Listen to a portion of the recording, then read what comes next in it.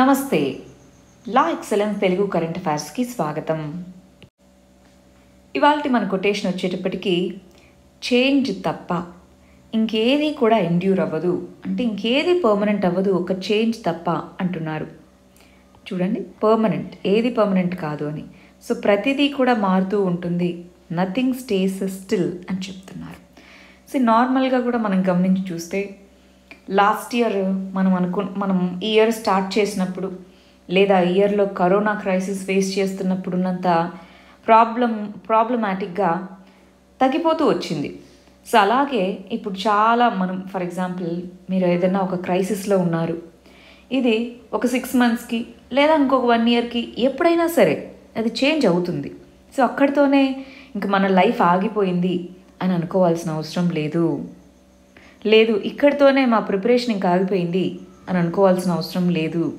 లేదా ఇక్కడితోనే మా కెరియర్ ఆగిపోయింది అని అనుకోవాల్సిన అవసరం లేదు. చేంజ్ అనేది జరుగుతూ ఉంటుంది. మనం దానికి తగ్గట్టుగా అడాప్ట్ అవుతూ వస్తాము. రైట్? మార్పు అనేది వస్తూ ఉంటుంది. అదొకటి గుర్తుంచుకోవాలండి. అయితే ఇక్కడ ఒక చిన్న విషయం అండి. చాలామంది మ్యాగజైన్ గురించి అడుగుతూ ఉన్నారు. నేను ప్రతిసారి దాని గురించి చెప్దామని అనుకుంటూ ఉంటాను. బట్ త్వర త్వరగా వీడియో చేసేయడంలో కొన్నిసార్లు అట్లా ప్రతిసారి డిలే అయిపోతూ వస్తూ ఉంది. ఇవాళ కూడా కొంత టైం కన్స్ట్రెయింట్ ఉన్నప్పటికీ ఇంకా డిలే చేస్తే మీకు ఇబ్బంది అవుతుంది అన్నట్టుగా చెప్తున్నానండి. మనం చాలామంది కరెంట్ అఫైర్స్ చదువుతున్నాం దాన్ని ఎలా యూస్ చేసుకోవాలి అన్నటువంటి క్వశ్చన్స్ ఉన్నాయి. కరెంట్ అఫైర్స్ గురించి రకరకాల క్వశ్చన్స్ ఉన్నాయి.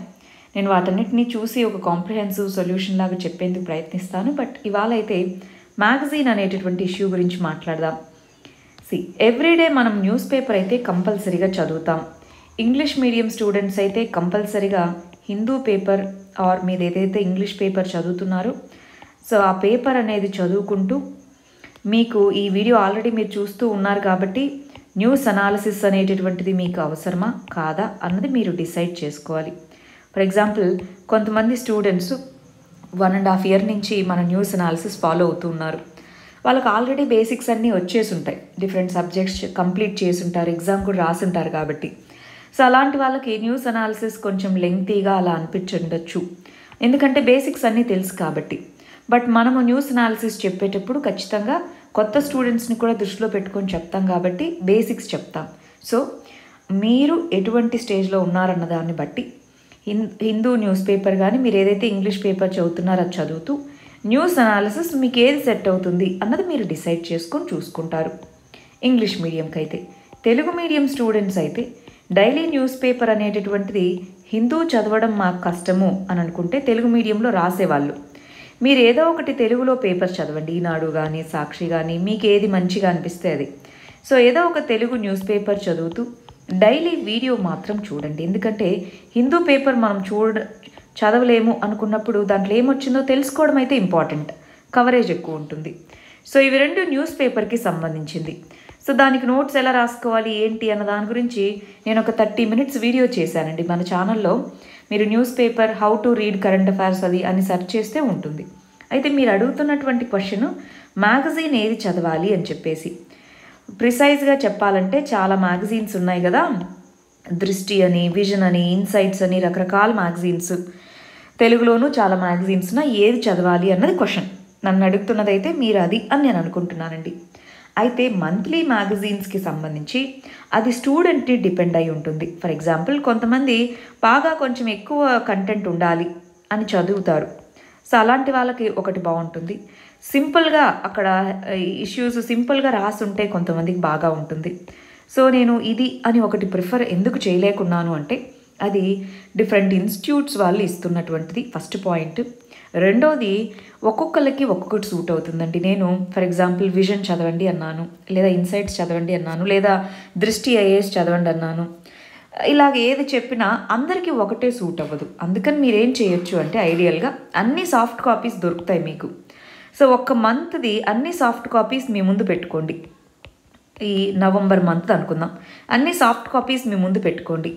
ఇంకొకటండి వాళ్ళు ఏం రాసినా సరే మ్యాగజైన్లో దాంట్లో ఉన్నవి కొన్నే మనకి యూజ్ అవుతాయి. మీకు తెలిసే ఉంటుంది ఎగ్జామ్ రాసిన వాళ్ళకి. మన సాటిస్ఫాక్షన్ కోసం మనం చదువుతాం. కోర్స్ కొన్ని విషయాలు నేర్చుకుంటాం. బట్ అన్ని మ్యాగజైన్స్లోనూ అటు ఇటు తిప్పి చాలా వరకు అవే ఇష్యూస్ కవర్ అయ్యి ఉంటాయి. బేసిక్ ఇష్యూస్ అయితే అన్నీ కవర్ అయ్యి ఉంటాయి. సో ఏ మ్యాగజైన్ అయినా ఒకటే నా దృష్టిలో. కాకపోతే కొంతమందికి రకరకాల ప్రయారిటీస్ ఉంటాయండి. కొంతమందికి ఫాంట్ సైజ్ కూడా కొంతమందికి ఇష్యూ ఉంటుంది. చాలా చిన్న విషయాలు అనుకుంటాం. బట్ అది కూడా ఇబ్బంది ఉంటుంది. సో మీరు ఒక మూడు నాలుగు మ్యాగజైన్స్ ముందు పెట్టుకోండి. ఇంకొకటి ఫైనల్ పాయింట్ అయితే ఏ మ్యాగజైన్ అయినా ఒకటే. అంటే బాగా పేరున్న వాటిలో ఏ మ్యాగజైన్ అయినా ఒకటే. మన మ్యాగజైన్ ఎప్పుడు స్టార్ట్ చేస్తామో నేను కొద్దిసేపట్లో అనౌన్స్ చేస్తాను. బట్ ప్రస్తుతానికైతే ఒక త్రీ ఫోర్ మ్యాగజైన్స్ బాగా కొంచెం అందరూ చెప్తున్నటువంటివి ఏవైతే ఉంటాయో అవి మీరు ముందు పెట్టుకొని సాఫ్ట్ కాపీస్ ముందు పెట్టుకొని మీ యొక్క నేచర్కి అది సెట్ అవుతుందా లేదా అని చూసుకోండి. కంటెంట్ అన్నింటిలో ఆల్మోస్ట్ కొన్ని ఆర్టికల్స్ పదో పదహైదు అటో ఇటో ఉంటాయండి. మీరు ప్రతి ఒక్కటి పిన్ పాయింట్లో చదవాలి అని మీరు అనుకోవద్దు. బ్రీఫ్గా దాంట్లో ఏముందని తెలుసుకుంటే చాలు.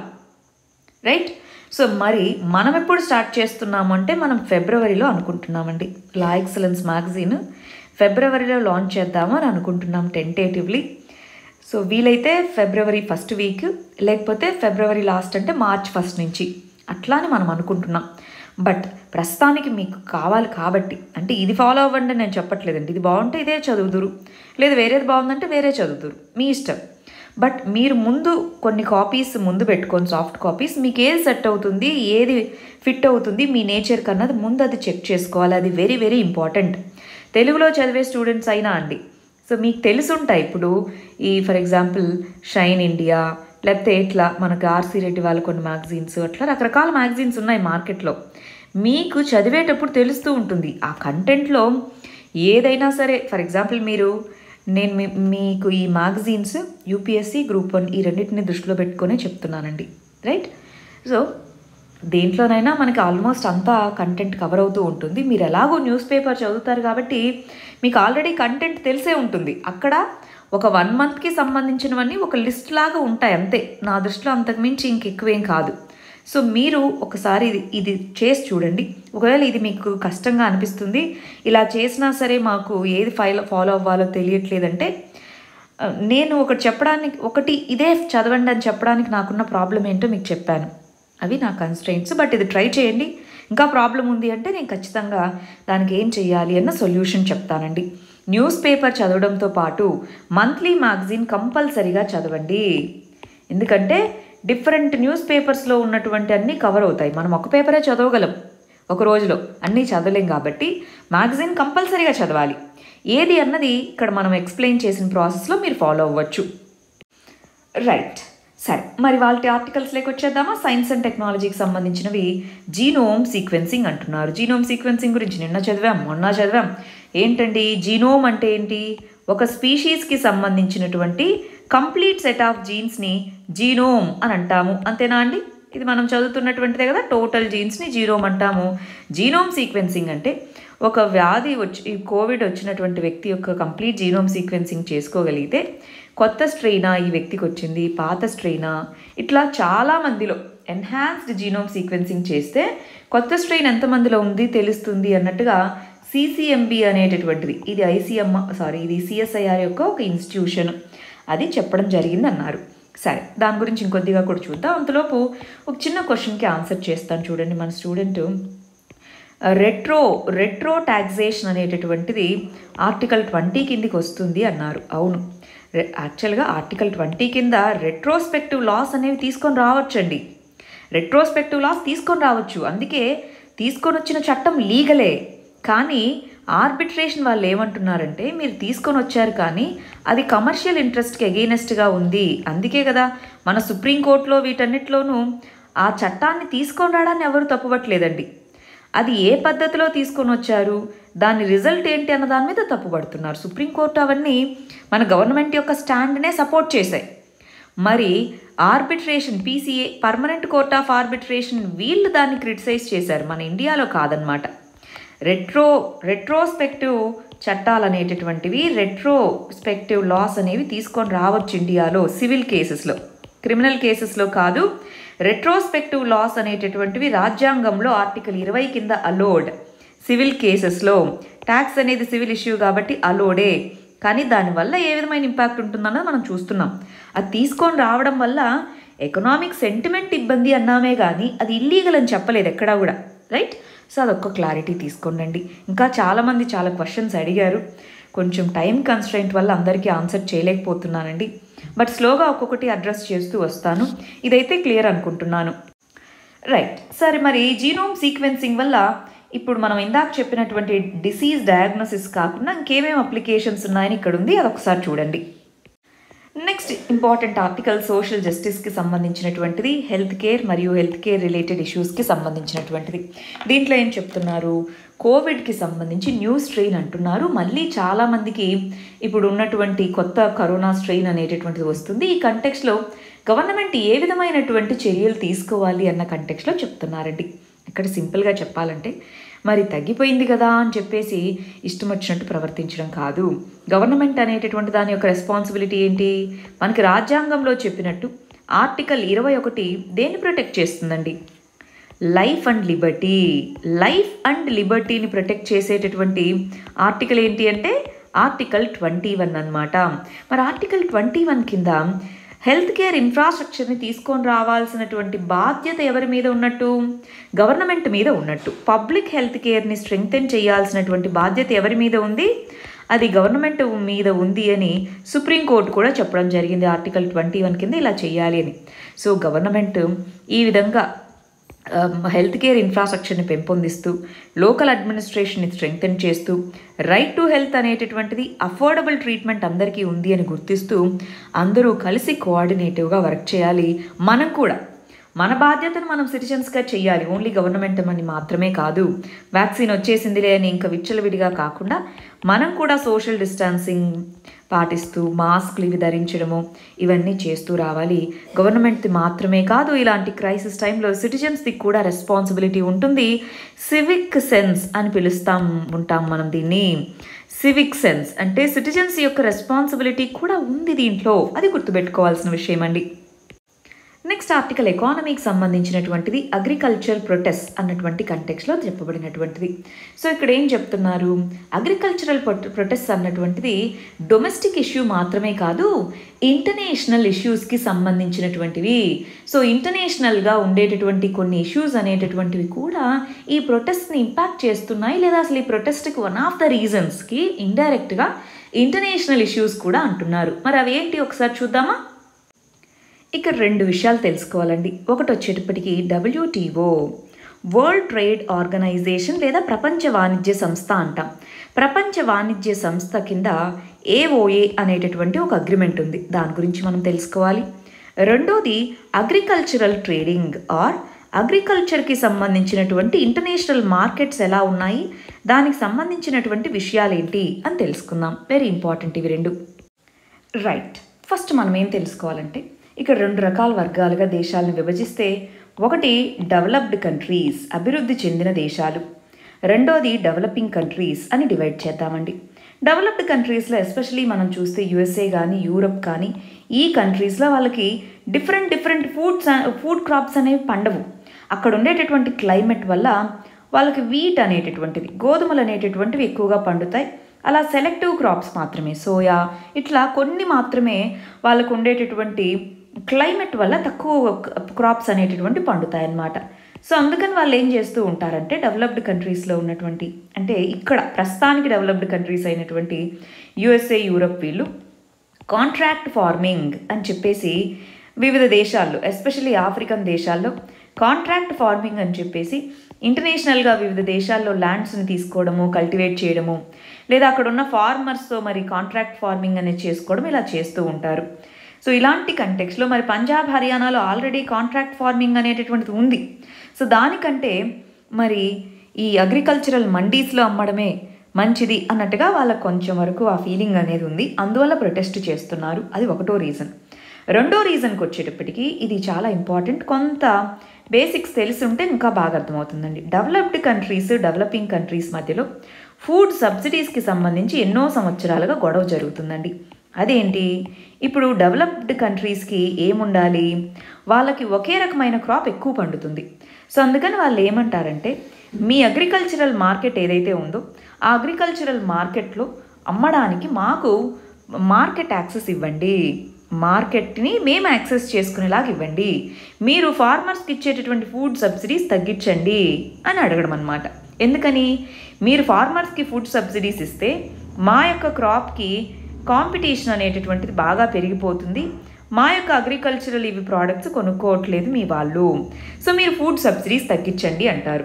కానీ మనకి ఇండియాలో ఇస్తున్నటువంటి ఫుడ్ సబ్సిడీస్లో రెండు రకాల సబ్సిడీస్ అండి. ఒకటి ఎంఎస్పి మినిమం సపోర్ట్ ప్రైస్. రెండోది పీడిఎస్ పీడిఎస్ ద్వారా ఫుడ్ సబ్సిడీ అనేటటువంటిది ఇస్తున్నారు. ఇదేమో రైతులకి వెళ్ళాలి అని ఇక్కడ సబ్సిడీ కాదు యాక్చువల్గా మినిమం ప్రైస్. బట్ మన వాళ్ళు ఈ రేట్కే అమ్ముతూ ఉండడంతో అదొక సబ్సిడీ లాగా మారింది. పీడిఎస్. పీడిఎస్ అంటే పబ్లిక్ డిస్ట్రిబ్యూషన్ సిస్టమ్ అంటాం. సో ఈ రెండింటి ద్వారాను సబ్సిడీస్ ఇస్తున్నారు కదా దీన్ని తగ్గించండి అన్నది డెవలప్డ్ కంట్రీస్ యొక్క స్టాండ్ అన్నమాట. అయితే మనకి పంతొమ్మిది వందల తొంభై ఐదులో డబ్ల్యూటీఓ అనేటటువంటి ఒక ఆర్గనైజేషన్ ఫామ్ అయింది. డబ్ల్యూటీఓ కంటే ముందు ట్రేడ్ కోసం మనకి జీఏటీఎస్ అనేటటువంటి గ్యాట్స్ అనేటటువంటిది ఉండేది. బట్ ఏదేమైతేనేమి పంతొమ్మిది వందల తొంభై ఐదులో డబ్ల్యూటీఓ ఫామ్ అయింది. దాని కింద డబ్ల్యూటీఓల మెంబర్ కంట్రీస్ అన్నీ కూడా ఈ అగ్రిమెంట్ మీద సైన్ చేశాయి. అగ్రిమెంట్ ఆన్ అగ్రికల్చర్ అని. దాని మీద మూడు పాయింట్స్ అగ్రీ చేశాయి. ఒకటి మార్కెట్ యాక్సెస్. అందరికీ మార్కెట్ యాక్సెస్ ఇస్తాము. రెండోది డొమెస్టిక్ సపోర్ట్. డొమెస్టిక్గా సబ్సిడీస్ ఇవ్వండి. కానీ కంట్రోల్ లో పెట్టాలి. మూడోది ఎక్స్పోర్ట్ కాంపిటీషన్ అనేటటువంటిది ప్రమోట్ చేయాలి. ఈ మూడు పాయింట్స్ అగ్రీ చేసుకున్నారు. ఈ రెండో పాయింట్ కాంట్రవర్షియల్ అనమాట ఎందుకని కాంట్రవర్షియల్ అంటే వాళ్ళు ఏమంటారు అంటే ఓవరాల్ ఉత్పత్తి అయ్యేటటువంటి ఫుడ్ ప్రొటెక్షన్ ఫుడ్ ప్రొడక్షన్ ఎంతైతే ఉందో దాంట్లో పది శాతం మాత్రమే సబ్సిడీ ఇవ్వాలి. డెవలపింగ్ కంట్రీస్ పది శాతమే సబ్సిడీ ఇవ్వాలి. డైరెక్ట్ సబ్సిడీ అని అంటారు. మనకి ఎంఎస్పి పీడిఎస్ ఇవన్నీ కలిపితే దీనికంటే మించి వెళ్తుందన్నమాట. సో ఆ కంటెక్స్లో వీళ్ళు ఏమంటారంటే పది శాతము ప్రొడక్షన్కి సంబంధించి పది శాతం అగ్రిగేట్ ప్రొడక్షన్ అంటే టోటల్ ప్రొడక్షన్ అగ్రిగేట్ ప్రొడక్షన్లో పది శాతం మాత్రమే సబ్సిడీస్ ఇవ్వాలి. దానికి బేస్ ఇయర్గా నైన్టీన్ ఎయిటీ సిక్స్ ఎయిటీ ఎయిట్లో ఉన్న ప్రైసుల్ని ధరలను తీసుకోండి అన్నారు. అప్పట్లో ఎంత ధరలు? తక్కువ కదా అండి ఇప్పట్లో చాలా ఎక్కువ. సో పది శాతం అన్నారు అది మాకు సెట్ కాదు.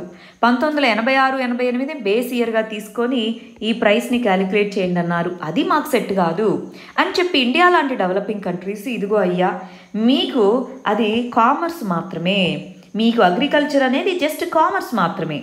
మాకు అగ్రికల్చర్ అనేది సగానికి పైగా జనాభా దాని మీదే ఆధారపడున్నారు అంటే మాకు అగ్రికల్చర్ ఎంప్లాయ్మెంట్ మాకు అగ్రికల్చర్ ఫుడ్ సెక్యూరిటీ మాకు అగ్రికల్చర్ అనేటటువంటిది డెవలప్మెంట్ లేదా పావర్టీ నిర్మూలనకు సంబంధించినటువంటిది మనకి అవునా కాదా? సో ఇలాంటివన్నీ ఉన్నాయి మేము పాటించలేము అంటున్నాం. కానీ యుఎస్ఏ లాంటి కంట్రీస్ మన మీద కంప్లైంట్ చేస్తున్నాయన్నమాట డబ్ల్యూటీఓలో చూసావా? వీళ్ళు డొమెస్టిక్ సపోర్ట్ని చేయట్లేదు అని చెప్పేసి. వీటిని పాటించడానికి అని చెప్పేసి గవర్నమెంట్ ఎంఎస్పీని వీటిని తగ్గించిన ఒకవేళ ఏంటి పరిస్థితి? ఎందుకంటే రీసెంట్గా కూడా యుఎస్ఏ ట్రంప్ అడ్మినిస్ట్రేషన్ కింద కంప్లైంట్ చేశారు. సో ఫార్మర్స్ వీటిని ఇంటర్నేషనల్గా పాటించడం కోసం మరి వీటిని తగ్గిస్తారేమో అన్న ఒక భయము. కాంట్రాక్ట్ ఫార్మింగ్తో ఆల్రెడీ ఎక్స్పీరియన్స్ ఉంది కాబట్టి ఇంకొక భయము. మూడోది వచ్చేటప్పటికి ఆల్రెడీ మన మార్కెట్స్ని ఓపెన్ చేశారు మార్కెట్ యాక్సెస్ ఇచ్చారు. దాంతో చీప్గా మనం వీటిని కనుక ఇంపోర్ట్ చేసుకుంటే ఈరోజు ఇంపోర్ట్ చేసుకుంటాం. కానీ ఈ వెస్ట్రన్ కంట్రీస్ అన్నీ కూడా ఫుడ్ గ్రెయిన్స్ని బయోఫ్యూయల్ కోసం వాడుతున్నాయి. బయోఫ్యూయల్ కోసం వాడాలి అని ఇంకా ఎక్కువ ఎక్కువగా వినిపిస్తూ ఉంది. సో అలాంటప్పుడు ఈరోజు చీప్ అవ్వచ్చు. రేపు ఇదే ఫుడ్స్ అనేటటువంటివి కాస్ట్లీ అవుతే మన చిన్న సన్న రైతులేమో ముందు చీప్ ఫుడ్ గ్రెయిన్స్ అన్నీ రావడంతో వాళ్ళ ఎకనామిక్ ఇదంతా దెబ్బతినిపోతుంది. ఆ తర్వాత ధరలు ఒక్కసారిగా పెంచుతారు. సో దానివల్ల అటు అగ్రికల్చర్ దెబ్బతింటుంది ఫుడ్ సెక్యూరిటీ దెబ్బతింటుంది ఇవన్నీ కన్సర్న్స్ ఉన్నాయి. ఫార్మర్స్ ఓన్లీ ఆ నా మూడు ఫార్మ్ బిల్స్ని మాత్రమే దృష్టిలో పెట్టుకొని మాట్లాడట్లేదు ఇలాంటి కన్సర్న్స్ అన్నీ కూడా ఉన్నాయి అన్నది ఈ ఆర్టికల్లో చెప్పింది. ఇది ఒక కొత్త డైమెన్షన్ అండి. మంచి డైమెన్షన్ యాక్చువల్గా అగ్రికల్చర్ యాక్ట్స్కి సంబంధించి ప్రొటెస్టుల్లో ఇది ఒక వాల్యూ అడిషన్ పాయింట్ మీ దగ్గర నోట్స్ ఉంది కదా ఆల్రెడీ అగ్రికల్చర్ దానికి సంబంధించి ప్రొటెస్ట్లు ఎందుకు చేస్తున్నారు అదంతా? మనం ఒక సపరేట్ వీడియో కూడా చేసాం దానికి ఈ పాయింట్స్ యాడ్ చేసి పెట్టుకోండి. సరేనా? Very important next important issue ఎకానమీకి సంబంధించినటువంటిది. గ్లోబల్ సప్లై చైన్స్ అంటున్నాము. అంటే ఏంటి ఇంతకీ? మనం నిన్న కూడా దీని గురించి చదువుకున్నాం. సరే ఒకసారి గ్లోబల్ సప్లై చైన్ అనే పదానికి మీనింగ్ ఏంటి? ఆ గ్లోబల్ సప్లై చైన్లో ప్రస్తుతానికి మనం ఫేస్ చేస్తున్నటువంటి ప్రాబ్లమ్స్ ఏంటి? మరి అందరూ కలిసి ఏమన్నా ఇనిషియేటివ్స్ తీసుకుంటున్నారా? మరి దానికి సొల్యూషన్స్ ఏంటి? అంతేనా మనం చూడాల్సింది? గ్లోబల్ సప్లై చైన్స్లో ఉన్నటువంటి ప్రాబ్లమ్స్ ఏంటి? గ్లోబల్గా ఏమన్నా ఇనిషియేటివ్స్ ఉన్నాయా? మనం ఇండియా లాంటి కంట్రీస్ ఏం చెయ్యాలి దీనికి సంబంధించి? అంటే ఓవరాల్గా వే ఫార్వర్డ్ ఏంటి అన్నది మనం ఇక్కడ తెలుసుకుందామండి. ఇది కొంచెం ఇంపార్టెంట్ ఇష్యూ అనుకుంటున్నాను. మెయిన్స్ రాసే వాళ్ళు కొంచెం జాగ్రత్తగా దీన్ని చదువు పెట్టుకోవాలి. ఇక్కడ చూడండి సప్లై చైన్ అంటే ఏంటి మామూలుగా? ఏదన్నా ఒక ప్రోడక్ట్ తయారు చేసేటప్పుడు ఒక ఏదన్నా ఒకటి ప్రొడ్యూస్ చేయాలి అంటే దానికి కావాల్సినటువంటి capital land labour skill entrepreneurial skill ఇవన్నీ ఎక్కడైతే ఉంటాయో అక్కడ ప్రొడక్షన్ సెంటర్స్ మూవ్ అవుతూ ఉన్నాయి. ఎస్పెషల్లీ గ్లోబలైజేషన్ వల్ల ఇవన్నీ డిస్పర్స్ అయి ఉన్నాయి. ఒక్కొక్క కంట్రీలో ఒక్కొక్క పార్ట్ తయారు చేయడం అన్నిటినీ కలిపి ఇంకొక చోట అసెంబుల్ చేయడము వాటిని ఇంకొక చోట అమ్మడము ఇట్లా సప్లై చైన్ అంటే ఏంటి అంటే ఓవరాల్గా డిజైన్ స్టేజ్ నుంచి మనం దాన్ని సేల్ చేసేంత వరకు ఏ ఏ స్టేజెస్లో ఎక్కడెక్కడ ఏదేది జరుగుతుంది ఆ మొత్తం లింక్ను మొత్తం కలిపి సప్లై చైన్ అంటాం. మరి మనకి రీసెంట్గా జరిగినటువంటి ఇన్సిడెంట్స్ మనం గుర్తు తెచ్చుకుంటే రెండు వేల పదహారులో ఫుకుషిమా న్యూక్లియర్ డిజాస్టర్ జరిగింది. ఆ తర్వాత మరి చైనా మరియు జపాన్ మధ్య ఉన్నటువంటి కార్ ఎక్స్పోర్ట్స్ వాటిలో కొంత ప్రాబ్లం వచ్చింది. అర్మాకో ఇది సౌదీ అరేబియాకు సంబంధించినటువంటి కంపెనీ కదా. ఈ సౌదీ అరేబియాకు సంబంధించినటువంటి ఆయిల్ రిఫైనింగ్ కంపెనీ దీని మీద మరి డ్రోన్ అటాక్ జరిగిన తర్వాత సడన్గా ఆయిల్ సప్లై తగ్గిపోయింది. దాంతో ఆయిల్ కాస్ట్ అనేది సడన్గా పెరిగింది ఒక్క రోజులోనే. సో అది సప్లై చైన్ డిస్ట్రప్షనే. కోవిడ్ నైన్టీన్ రావడంతో అన్ని దేశాలు వాళ్ళ బార్డర్ని సీజ్ చేశాయి. దాంతో చూడండి మెడికల్ ఎక్విప్మెంట్ కానీ అన్ని రకాల ఫీల్డ్స్లోనూ మనకి ఈవెన్ పీపీఈ కిట్స్ కూడా మనం ఇబ్బంది పడాల్సిన సిచ్యువేషన్. అలాంటి కంటెక్స్లో కొన్ని కంట్రీస్ యుఎస్ఏ ముందు నుంచే చేస్తూ ఉంది. ఇప్పుడు చైనా అనేటటువంటిది వెపనైజేషన్ ఆఫ్ ట్రేడ్ అంటే ట్రేడ్లో అడ్వాంటేజ్ అనేటటువంటిది ఉంది. ఫర్ ఎగ్జాంపుల్ మనతో ఏం చెప్తుంది? ఎల్ఏసి ఎల్ఏసి ఇష్యూ ఎలా అన్నా ఉండని మనం ట్రేడ్ ఇష్యూని మాత్రం ఆపకుండా చూసుకుందాము అంటుంది.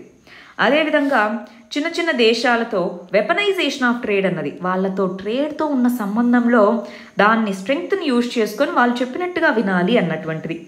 వన్ బెల్ట్ వన్ రోడ్లో కూడా ఇలాంటి ఇలాంటి దీన్నే వాడడం అనమాట వెపనైజేషన్ ఆఫ్ ట్రేడ్. రీసెంట్గా ఆస్ట్రేలియా చైనా మధ్య జరిగిన గొడవ గుర్తుందా? ఆస్ట్రేలియా వాటి మీద ఆస్ట్రేలియా గూడ్స్ వీటి మీద శాంక్షన్స్ విధించడము ఇక్కడ మనమేమి చైనా మంచిది చైనా చెడ్డది యుఎస్ఏ పాపం మంచిది అనే దానికి లేదండి. ఇద్దరూ ఇద్దరే. So China weaponization of trade ట్రేడ్ని వెపన్గా వాడుకుంటుంది. యుఎస్ఏ కూడా శాంక్షన్స్ ఎందుకు వేస్తుంది? ఇప్పుడు ఇరాన్ మీద శాంక్షన్స్ వేయడం అంటే ఏంటి? అదే కదా. సో తన పవర్ని యూజ్ చేసుకోవడం ట్రేడ్ పవర్ని ఇలాగ ఈ కంట్రీస్ వాళ్ళకి ఇష్టం వచ్చినట్టుగా ట్రేడ్ని వెపన్ రూపంలో వాడుకుంటున్నాయి. అది హర్ట్ చేస్తుంది ఎకానమీస్ని హర్ట్ చేస్తుంది నష్టాన్ని కలిగిస్తుంది. సో ఆ కంటెక్స్లో ఏం చేద్దాం మరి? ఇక్కడ చూడండి. జపాన్ అనేటటువంటిది షింజో అబే అనేటటువంటి ప్రైమ్ మినిస్టర్. ఆయన ఇప్పుడు ఆయన తర్వాత ఇంకొకరు కూడా వచ్చారు. ఆయన టర్మ్ అయిపోయింది. బట్ ఆయన ఉన్నప్పుడు ఇయర్ స్టార్టింగ్లో supply chain resilience initiative SCRI అనేటటువంటి దాన్ని ప్రపోజ్ చేశారండి. అంటే ఎటువంటి కండిషన్స్ ఎటువంటి సిచ్యువేషన్స్ వచ్చినా సప్లై చైన్స్లో డిస్ట్రప్షన్ రాకుండా ఉండాలి అని చెప్పేసి ఇండియా జపాన్ ఆస్ట్రేలియా ఇవి దాని గురించి మాట్లాడుకుంటున్నాయి. ఎస్పెషల్గా చైనా ఇలా బ్లాక్ చేయడము వీటన్నిటితో. ఆ తర్వాత స్లోగా ఫ్రాన్స్ మేము దీంట్లో పార్టిసిపేట్ చేస్తాము అంటున్నాయి. యూరోపియన్ యూనియన్ కంట్రీస్ యూకే కూడా దీంట్లో పార్టిసిపేట్ చేయడానికి ఇంట్రెస్ట్గా ఉన్నాయి. అంటే ఏ పరిస్థితి వచ్చినా సరే సప్లై చైన్స్ డిస్టర్బ్ అవ్వకుండా. ఇక్కడ జపాన్ అనేటటువంటిది ఈ స్ట్రాటజీని ఫాలో అవుతుందండి. చైనా ప్లస్ వన్ అంటే జపాన్కి సంబంధించిన చాలా కంపెనీస్ చైనాలో ఇన్వెస్ట్ చేస్తున్నాయి. చీప్ లేబర్ వీటన్నిటి కోసం. కానీ వాటితో పాటు ASEAN association of south east Asian nations అంట. వాటిలో ఏదో ఒక కంట్రీలో ఆల్టర్నేటివ్గా ఇన్వెస్ట్ చేసుకొని ఉన్నాయి. దానివల్ల చైనా ఒకవేళ బ్లాక్ చేసినా మాకు ఇంకొక ఆల్టర్నేటివ్ ఉంది అని చెప్పడానికి అనమాట ఇలాంటి కంటెక్స్లో మరి ఇండియా ఏం చేయాలి? ఇండియాకు ఉండేటటువంటి సొల్యూషన్ ఏంటి? వే ఫార్వర్డ్ ఏంటి? First is supply chain resilience అనేటటువంటిది ఉండాలి. కానీ చిన్న చిన్న వాటిలో కూడా మనము వివిధ కంట్రీస్ మీద డిపెండ్ అవ్వకూడదు. ఫర్ ఎగ్జాంపుల్ కోవిడ్ బ్లాకేజ్ టైంలో మనకి యాక్టివ్ ఫార్మాస్యూటికల్ ఇంగ్రీడియంట్స్ ఈ పేరు విన్నారా? ఏపీఐ అంటాం. ఇవి మనకి చైనా నుంచే మనం ఇంపోర్ట్ చేసుకునే వాళ్ళం. ఎయిటీ పర్ ఎయిటీ నుంచి నైంటీ పర్సెంట్ దాంతో అది కంప్లీట్గా ఆగిపోయింది. పీపీఈ కిట్స్ మెడికల్ డివైజెస్ కూడా మనము అసలు ఫార్మా దీంట్లో మనం అడ్వాన్స్డ్ కంపారిటివ్లీ. కానీ మెడికల్ డివైజెస్ని వివిధ దేశాల నుంచి ఇంపోర్ట్ చేసుకుంటున్నాము. ఎలక్ట్రానిక్స్ ఎలక్ట్రానిక్స్ రంగం ఆటోమొబైల్ రంగం ఇది మనము ముందంజలో ఉన్నాం. అయినా సరే ఎలక్ట్రానిక్స్కి సంబంధించిన రా మెటీరియల్స్ కానీ ఇవన్నీ మనము ఇంపోర్ట్ చేసుకుంటున్నాం.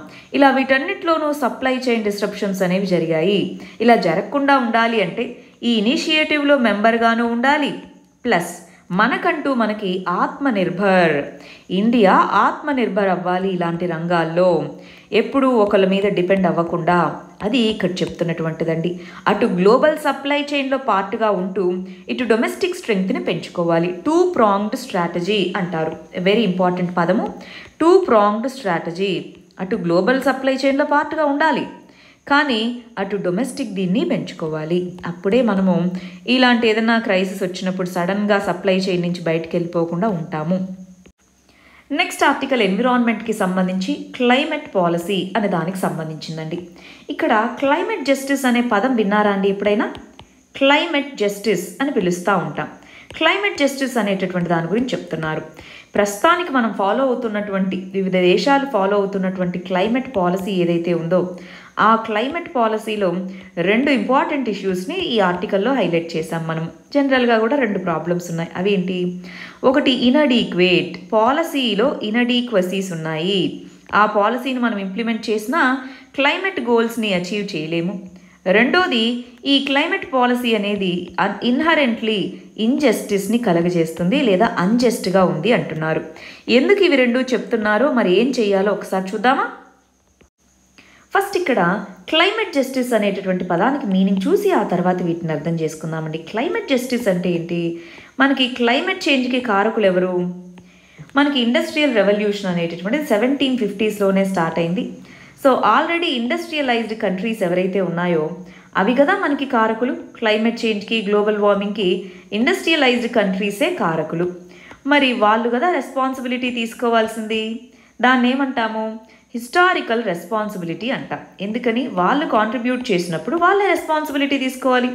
సో ఆ హిస్టారికల్ రెస్పాన్సిబిలిటీని వాళ్ళు ఏమంటున్నారు? అందరం షేర్ చేసుకోవాలి. ఇప్పుడు చైనా గ్రో అవుతుంది ఇండియా గ్రో అవుతుంది మీరందరూ షేర్ చేసుకోవాలి అంటున్నారు. కానీ హిస్టారికల్లీ ఎవరు రెస్పాన్సిబుల్? వాళ్ళు కదా మేజర్గా కాంట్రిబ్యూట్ చేయాలి. కానీ ఇప్పుడు పారిస్ క్లైమేట్ అగ్రిమెంట్ ఉంది చూసారా? ఈ పారిస్ క్లైమేట్ అగ్రిమెంట్లో ప్రతి ఒక్కళ్ళు కాంట్రిబ్యూట్ చేయాలి. ఐఎన్డీసీస్ అనేటటువంటి ఉన్నాయండి. ఇంటెండెడ్ నేషనల్లీ డిటర్మైన్డ్ కాంట్రిబ్యూషన్స్ అని. అవి అందరికీ ఈక్వల్గా వర్తిస్తున్నాయి. అది జస్టిస్ కాదు. అది మనం తెలుసుకోవాల్సిన ఒక పాయింట్ రెండోది క్లైమేట్ చేంజ్కి కారకంలో ఫస్ట్ది అర్బనైజేషనే ఉంది. అర్బనైజేషన్ దానికి రిలేటెడ్గా కన్స్ట్రక్షన్ ఎస్పెషలీ కన్స్ట్రక్షన్ యాక్టివిటీకి కావాల్సిన రిసోర్సెస్ అన్నీ కూడా తరిగిపోయేటటువంటి వనరులే. సో అలాంటి కంటెక్స్లో అది క్లైమేట్ చేంజ్కి కారకంగా ఉంది. ఇండస్ట్రియలైజేషన్ అర్బనైజేషన్ నార్మల్గా అయితే ఇవే పొల్యూషన్కి కారణము అని కాదు. కానీ మనం ఏ విధమైన పద్ధతులను అవలంబించాము? ఓవర్ ఎక్స్ప్లాయిట్ చేయడము పొల్యూషన్ ఎక్కువ ఉండేలాంటి ఇండస్ట్రియలైజేషన్ చూస్ చేసుకోవడము ఓవర్ అర్బనైజేషన్ అన్ప్లాన్డ్ అర్బనైజేషన్ ఇవి ప్రాబ్లమ్స్ మరి ఇండియా ఏం చెయ్యాలి? వెరీ ఇంపార్టెంట్ అండి ఇక్కడ గమనించండి. ఇండియాలో అసలు ఏమేమి సర్కామ్స్టాన్సెస్ ఫర్ ఎగ్జాంపుల్ మీట్ మాంసం మీట్ ఇండస్ట్రీ తీసుకుంటే ఇండియాలో పర్ ఇండియన్ ఒక ఇండియన్ యావరేజ్గా సంవత్సరానికి నాలుగు కేజీల మీట్ తీసుకుంటే అదే యూరోపియన్ యూనియన్లో ఉండేటటువంటి వాళ్ళు అరవై ఐదు కేజీల మీట్ ఒక వ్యక్తి తీసుకుంటారు. అదే యుఎస్ఏలో అయితే ఆన్ అన్ యావరేజ్ వంద కేజీల మీట్ని తీసుకుంటారు. మామూలుగా మీట్ ఇండస్ట్రీ చాలా ఎక్కువ పొల్యూషన్కి కారణం. ఎందుకంటే ఈ బర్రెలు కానీ లేదా ఏవైతే మేకలు ఇవన్నీ ఏవైతే ఉన్నాయో అవి మీథేన్ గ్యాస్ని రిలీజ్ చేస్తాయి. దాంతోపాటు అవి చాలా గడ్డిని కన్జ్యూమ్ చేస్తాయి. వాటికి వాటిని కట్ చేసినప్పుడు కానీ వాటర్ కానీ ఇలా రకరకాల రీసోర్సెస్ ఎక్కువ కావాలి. రెండోది అందుకే అది వన్ థర్డ్ వన్ థర్డ్ పొల్యూషన్ని అది కలగజేస్తాయి. గ్లోబల్ ఎమిషన్స్కి వన్ థర్డ్ కాంట్రిబ్యూషన్ను మీట్ ఇండస్ట్రీనే చేస్తుంది. రెండోది వచ్చేటప్పటికి ట్రాన్స్పోర్ట్ సెక్టర్ ట్రాన్స్పోర్ట్ ఎమిషన్స్లో కూడా యుఎస్ఏ వెస్ట్రన్ కంట్రీస్ అనేటటువంటివి ఇప్పుడు స్లోగా వాళ్ళు మూవ్ అవుతున్నారు కానీ ఎలక్ట్రిక్కి ముందంతా కాంట్రిబ్యూట్ చేసింది ఎవరండి? వాళ్ళే. మూడోది కోల్ కోల్ అనేటటువంటి సెక్టర్ అనేటటువంటిది energy use one fourth energy అన్ని దేశాలకి కలిపి కోల్ నుంచే వస్తుంది. మన దేశంలో అయితే అరవై రెండు శాతం కోల్ నుంచే వస్తుందన్నమాట. సో ఇనీషియల్గా కొలోనియలిజం ఈ టైంలో అసలు ఎవరు కోల్ని ఎక్కువ యూజ్ చేసింది? ఇండస్ట్రియలైజ్డ్ కంట్రీస్ మరి వాళ్ళు కదా రెస్పాన్సిబిలిటీ తీసుకోవాలి. సో ఇలాంటి కంటెక్స్లో ఎలక్ట్రిక్ వెహికల్స్కి మూవ్ అవ్వాలి. ఆయిల్ ఆయిల్ని ఎలిమినేట్ చేసుకోవడము ఇలాంటి మెజర్స్ తీసుకోవాలి. వీటికి గాను ఇండియా అనేటటువంటిది లీడర్షిప్ రోల్ని ప్రదర్శించాలి. మనం యుఎన్ యునైటెడ్ నేషన్ సెక్యూరిటీ కౌన్సిల్లో నెక్స్ట్ ఇయర్ అంటే ట్వంటీ ట్వంటీ వన్లో నాన్ పర్మనెంట్ మెంబర్గా ఎన్నికయ్యాం ఆల్రెడీ ట్వంటీ ట్వంటీ వన్లో ఉండబోతున్నాం. అలాంటప్పుడు ఇలాంటి అజెండాని ప్రమోట్ చేయాలి ఇండియా. ఇలాంటి వాటిలో గ్లోబల్ లీడర్గా ఎదగాలి క్లైమేట్ రెసీలియన్స్ని తీసుకొని వచ్చేందుకు అంటున్నారు. మరి ఎంతవరకు మనం చేయగలము ఏంటి అన్నది మనం చూడాలి బట్ ఇదైతే మనం తెలుసుకోవాల్సిన విషయం. రైట్ నెక్స్ట్ ఆర్టికల్ వచ్చేటప్పటికి ఎన్విరాన్మెంట్కి సంబంధించింది. వెస్ట్రన్ ఘాట్స్ పశ్చిమ కనుమలు అంటాం. Western Ghats protection. Western Ghats protection అనేటటువంటిది మనకి చ వెస్ట్రన్ ఘాట్స్ అనేటటువంటిది బయోడైవర్సిటీ వైజ్గా చూసుకుంటే చాలా ఇంపార్టెంట్ సో ప్రపంచంలో ఉండేటటువంటి బయోడైవర్సిటీ హాట్స్పాట్స్లో వెస్ట్రన్ ఘాట్స్ని మనం ఒకటిగా పరిగణిస్తాము. బయోడైవర్సిటీ హాట్స్పాట్స్గా పరిగణిస్తాం. మరి దాన్ని ప్రొటెక్ట్ చేయాలా వద్దా? కానీ దానికి ఎన్నో రకాలైనటువంటి ప్రాబ్లమ్స్ అనేటటువంటి ఉన్నాయి. అక్కడ పెరుగుతున్నటువంటి అర్బనైజేషన్ కానివ్వండి అక్కడ జరుగుతున్నటువంటి ఇండస్ట్రీస్ కోసం ఆ, అటవుల్ని వీటిని నరికివేయడం కానివ్వండి రైట్ ఇండస్ట్రియలైజేషన్ డీఫారెస్టేషన్ కానివ్వండి ఇన్ఫ్రాస్ట్రక్చర్ కోసం డీఫారెస్ట్ చేయడం కానివ్వండి ఇలాంటివన్నీ జరుగుతూ ఉన్నాయి. మరి దీనికోసం ప్రొటెక్షన్ కోసమని రకరకాల కమిటీస్ని నియమించారు.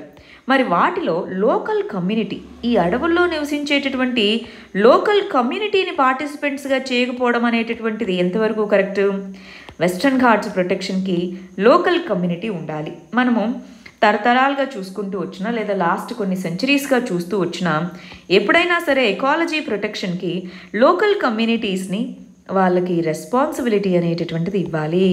మామూలుగా కూడా లోకల్ కమ్యూనిటీయే కాపాడుకుంటారు వాళ్ళ యొక్క ఎన్విరాన్మెంట్ని సో వాళ్ళని పార్ట్నర్స్గా చేయడం అనేది మంచి స్ట్రాటజీ అన్నట్టుగా ఇక్కడ చెప్తున్నారండి. ఫారెస్ట్ రైట్స్ చట్టము అనేటటువంటిది ఉంది. ఇప్పుడు నా విన్నారా? ఫారెస్ట్ రైట్స్ చట్టము రెండు వేల ఆరు ఈ చట్టం కింద రైట్స్లో ఫారెస్ట్ రైట్స్లో రైట్ టు కన్జర్వ్ మన యొక్క ప్రొటె ఫారెస్ట్ని మనం కన్జర్వ్ చేసుకోవడానికి కూడా ఒక హక్కుగా ఇవ్వడం జరిగింది ఈ చట్టం కింద. మరి అలాంటప్పుడు వెస్ట్రన్ ఘాట్స్ కన్జర్వేషన్కి ఎందుకు లోకల్ కమ్యూనిటీస్ని ఇన్వాల్వ్ చేయకూడదు? చెయ్యాలి.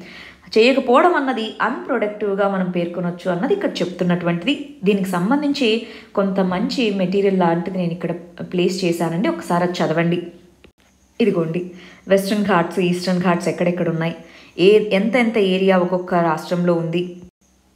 వెస్ట్రన్ ఘాట్స్కి సంబంధించిన థ్రెడ్స్ ఏమేమి ఉన్నాయి?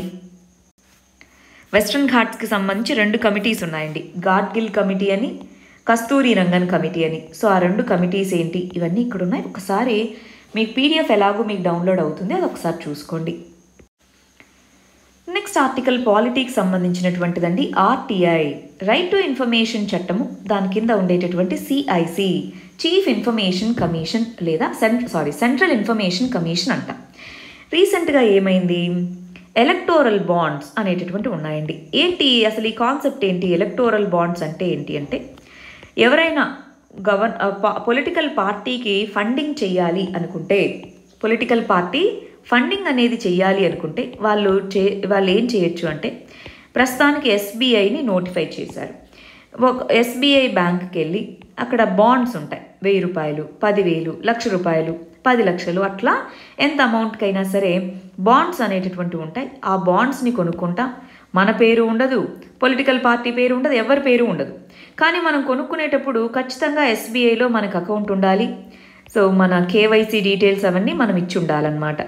అంటే మనము ఎవ- ఎవరు కొనుక్కుంటున్నాము? ఆ బాండ్ నంబరు వాళ్ళ దగ్గర ఉంటుంది. మన డీటెయిల్స్ బ్యాంక్ దగ్గర ఉంటాయి. బ్యాంక్ దగ్గర మాత్రమే మన డీటెయిల్స్ ఇవన్నీ ఉంటాయి. ఈ బాండ్స్ని తీసుకెళ్ళి మనకి ఇష్టం ఇష్టం వచ్చిన పొలిటికల్ పార్టీకి ఇవ్వచ్చు. దాంతో ఏమైపోయింది? అసలు ఎవరు ఏ పొలిటికల్ పార్టీకి ఫండింగ్ చేస్తున్నారు? అది బ్లాక్ మనీనా? లేదా ఎంత అమౌంట్ దాటి ఫండింగ్ చేస్తున్నారు? కావాలని కార్పొరేట్స్ దానికి ఎక్కువ ఫండింగ్ చేసి వాళ్ళకి ఫేవరబుల్గా ఉండే పాలసీస్ ఏమన్నా తెచ్చుకుంటున్నాయా?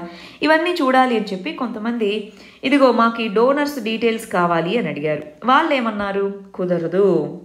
కుదరదు. ఎందుకంటే అది ఆర్టీఐ కింద ఆర్టీఐ కింద ఇన్ఫర్మేషన్ ఇవ్వాలి. కానీ ఆర్టీఐలో థర్డ్ పార్టీ ఇన్ఫర్మేషన్ అది వేరే వాళ్ళకి సంబంధించిన డీటెయిల్స్ మీకు ఇవ్వము అన్నారు.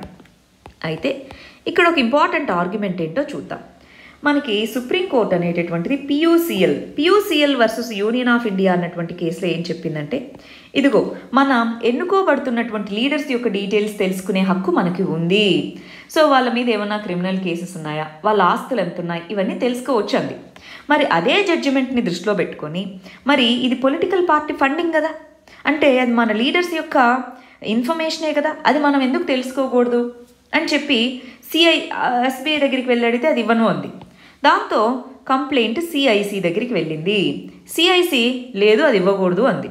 దాంతో ఇంక ఇప్పుడు అల్టిమేట్గా ఫైనల్గా దీనికి ఇలాంటి విషయాల్లో ఎవరు డీల్ చేస్తారు? సుప్రీంకోర్టు సుప్రీంకోర్టుకి అప్పీల్ వెళ్ళింది అని చెప్తున్నారు. ఓవరాల్గా ఏం చెప్తున్నారంటే ఇలాంటి ఎలక్టోరల్ బాండ్స్ గవర్నమెంట్ అంది బ్యాంకు ద్వారా వస్తున్నాయి కాబట్టి అది మనీ కరెక్ట్గా కేవైసీ ఇదంతా ఉంటుంది.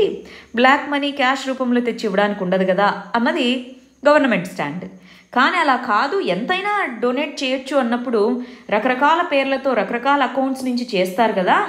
దానివల్ల ఖచ్చితంగా బ్లాక్ మనీ ఉంటుంది. అది ట్రాన్స్పరెన్సీని కోల్పోతుంది. ఇంతకుముందు క్యాష్ రూపంలో కానీ లేదా ఈ డీడీ రూపంలో కానీ కడితే వాళ్ళ పేర్లు వాళ్ళవి డిస్ప్లే చేసేవాళ్ళు. ఇప్పుడు ఎలక్టోరల్ బాండ్స్లో వాళ్ళ పేరు ఉండదు కాబట్టి డిస్ప్లే చేయట్లేదు.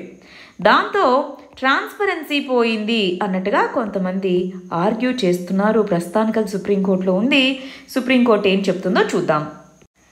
నెక్స్ట్ ఆర్టికల్ ఇన్కాయిస్ అనేటటువంటిది. Indian national centre for ocean information అంటున్నాం. ఈ ఇన్కోయిస్ అనేటటువంటిది డిజిటల్ ఓషన్ ప్లాట్ఫామ్ అనే దాన్ని లాంచ్ చేసిందండి. అంటే సింపుల్గా ఒక వెబ్సైట్ అనమాట ఈ డిజిటల్ ఓషన్ అనేటటువంటిది ఏంటి అంటే ఓషనోగ్రఫిక్ ఇన్ఫర్మేషన్. ఇన్ఫర్మేషన్ అంతా దాంట్లో ఉంటుందన్నమాట. ఇది ఏ విధంగా మెరైన్ ప్రొటెక్షన్ చేపట్టాలి? ఫిషింగ్ జోన్స్ అనేటటువంటివి ఎక్కడున్నాయి? సో ఇలాంటివి అడ్వైజరీస్ ఏంటి? ఇవంతా దాంట్లో ఉంటాయి. వెదర్ అలర్ట్స్ ఏంటి? సునామీ ఎర్లీ వార్నింగ్ ఏంటి? ఓవరాల్ ఇన్ఫర్మేషన్ అంతా దీంట్లో స్టోర్ చేసుకునే లాంటి ఒక పోర్టల్ని తీసుకొని రావడం జరిగింది.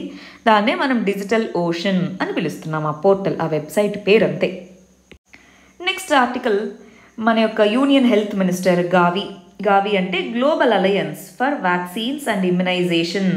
వ్యాక్సిన్స్కి ఇమ్యునైజేషన్కి సంబంధించి ఒక గ్రూప్ అనమాట గావిలో మెంబర్గా జాయిన్ అవ్వడం జరిగింది అన్నట్టుగా చెప్తున్నారు. అంటే వ్యాక్సిన్ అలయన్స్కి సంబంధించి వ్యాక్సిన్ ఇంప్లిమెంటేషన్ దాంట్లో వివిధ ఎక్స్పర్ట్స్తో కోఆర్డినేట్ చేసుకోవడం ప్రైవేట్ సెక్టార్తో కోఆర్డినేట్ చేసుకోవడం ఇలాంటివన్నీ కూడా వ్యాక్సిన్ రిలేటెడ్గా చేయడానికి ఈ ఫోరం ఉపయోగపడుతుంది. దానికి సంబంధించి మన హర్షవర్ధన్ మన హెల్త్ మినిస్టర్ దీంట్లో మెంబర్గా ఉన్నారని చెప్తున్నారు. ఒక్కసారి గావి అనేటటువంటి దాని గురించి చదవండి నేను దీ వీలైతే దీని మీద ఒక ప్రిలిమ్స్ క్వశ్చన్ ఇద్దాం. నెక్స్ట్ ఆర్టికల్ ఇంటర్నేషనల్ రిలేషన్స్కి సంబంధించండి. ఇక్కడ ఏం చెప్తున్నారంటే ఇది ఆల్రెడీ మనం చదువుకున్నాం. మీకు గుర్తే ఉందా? రీసెంట్గానే మనము ట్వెల్త్ నుంచి ట్వంటీయత్ వరకు మనకి ఏవైతే కాన్సెప్ట్స్ మిస్ అయి ఉన్నాయన్నామో ఆ వీక్ వీడియోస్ చేయలేదు కదా దానికి ఒక వీడియో చేసాం దాంట్లో దీని గురించి చదువుకున్నాం. మయన్మార్ నుంచి వచ్చినటువంటి రోహింగ్యాస్ అనే వాళ్ళు ఇక్కడ బంగ్లాదేశ్లో ఉన్నారు. సో వాళ్ళని ఇక్కడ ఉన్నటువంటి ఒక ఐలాండ్కి తీసుకుని వెళ్ళి అక్కడ ఉండమని చెప్పడం జరిగింది. సో ఫోర్స్డ్గా వాళ్ళని పంపిస్తున్నారు అని చెప్పేసి కంప్లైంట్ వచ్చింది అన్నారు అయితే ఇక్కడ ప్రాబ్లం ఏంటి అంటే ఈ ఐలాండ్ అనేటటువంటిది సైక్లోన్స్కి వీటికి గురి అయ్యేటటువంటి ప్రమాదం ఉంది. అందువల్ల దీన్ని క్రిటిసైజ్ చేస్తున్నారనమాట అక్కడ మీరు పంపిస్తున్నారు ఫోర్స్ఫుల్గా. వాళ్ళు అక్కడ ఉండాలి కదా రెఫ్యూజీస్ అని మీకు ఇష్టం వచ్చినట్టు పంపిస్తారా? అది హ్యూమన్ రైట్స్ వైలేషన్ కదా? అది ఇక్కడ అడుగుతున్నటువంటి క్వశ్చన్ అనమాట మరి వాళ్ళకి మన ఫైనల్ ఆర్టికల్ వచ్చేటప్పటికి ఇండియా అనేటటువంటిది ఎకనామిక్ రివైవల్ కోసం ఇదిగో రూరల్ ఏరియాస్లో డిమాండ్ని పెంచడము. ఫెడరలిజంని స్ట్రెంగ్తెన్ చేయడం అంటే సెంటర్తో మంచి రిలేషన్స్ కలిగి ఉండడము కన్స్యూమర్ బేస్ని పెంచడము వీటిని ఇంప్లిమెంట్ చేయొచ్చు అన్నట్టుగా చెప్తున్నారు. మన ఫార్మర్ ఆర్బీఐ గవర్నర్ అయినటువంటి దుబ్బు సుబ్బారావు గారు చెప్పినటువంటిది అనమాట అంటే సింపుల్గా ఏం లేదండి. ఓవరాల్గా మనకి ఉండేటటువంటి రూరల్ ఎకానమీని పుష్ దానికోసం ఎంజీఎన్ఆర్ఈజిఎస్ ఇలాంటి స్కీమ్స్ని ఇంప్లిమెంట్ చేయడము క్యాష్ ట్రాన్స్ఫర్స్ ఇలాంటివి పంపించాలి క్యాష్ ట్రాన్స్ఫర్స్ ఇలాంటివి మరి ఎకానమీలో యాడ్ చేయగలగాలి. వీటిని చేయడం ద్వారాను కన్స్యూమర్ డిమాండ్ని పెంచడం ద్వారాను ఎకానమీని రివైవ్ చేయొచ్చు. అది ఇక్కడ చెప్తున్నటువంటి విషయం అన్నమాట. మరి మన వాళ్ళు చాలామంది మెయిన్స్ క్వశ్చన్కి ఆన్సర్ రాశారు. ఇవాళ టైం కన్స్ట్రెయింట్ చాలా ఉందండి. సో ఈ ఒక్క ఆన్సర్ నేను ఎవాల్యుయేట్ చేస్తాను. ఎలా రాయాలో చెప్తాను. దాన్ని బట్టి మిగిలిన వాళ్ళు కొంత ఎవాల్యుయేట్ చేసుకోవడానికి ప్రయత్నించండి. కొత్త ఫామ్ చట్టాలు అనేటటువంటివి బాగా ఇంప్లిమెంట్ చేస్తే అవి రూరల్ ఎకానమీలో ట్రాన్స్ఫర్మేషన్ని తీసుకొని వస్తాయి అని ఇచ్చాం క్వశ్చన్ కదా? అంటే ఇదిగో కొత్తగా వచ్చినటువంటి చట్టాలు ఇవి. సో అవి ఈ విధమైనటువంటి అడ్వాంటేజెస్ ఉన్నాయి కాబట్టి ఎస్ మంచిదే. కానీ ఇదిగో కొన్ని ప్రాబ్లమ్స్ ఉన్నాయి. సో సొల్యూషన్ ఇది. ఇలా రాయాలండి. దాని పాజిటివ్స్ రాయాలి. దాంట్లో కొన్ని ప్రాబ్లమ్స్ ఉన్నాయి. దానికి సంబంధించిన వే ఫార్వర్డ్ ఇది. ఈ విధంగా స్ట్రక్చర్ చేసుకోవాలి. రైట్ ఒకసారి చూసుకుంటారా? కొద్దిగా స్ట్రక్చర్ మార్చుకోవాలి. ఈ ఈ విధంగా రాయడానికి ప్రయత్నించండి. ఇంకొంతమంది కూడా ఆన్సర్స్ రాశారండి. ఇవాళ ఎవాల్యుయేట్ చేయలేకపోతున్నాను. నెక్స్ట్ దీంట్లోంచి చూద్దాం. All the best. Thank you very much.